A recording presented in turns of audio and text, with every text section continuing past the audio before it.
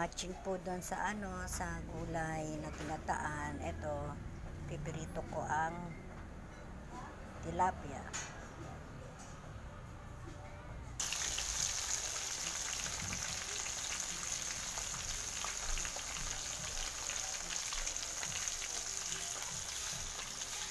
Yan ang match ko sa bag, ano, pinataang gulay.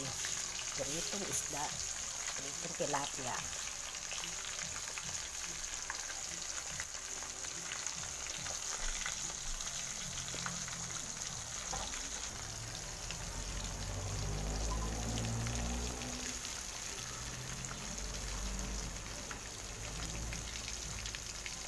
Piritong tilapia po yan guys.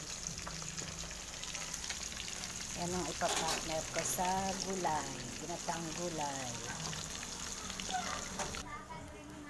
Ayan guys, luto na. Luto na ang pirito. Itong tilapia.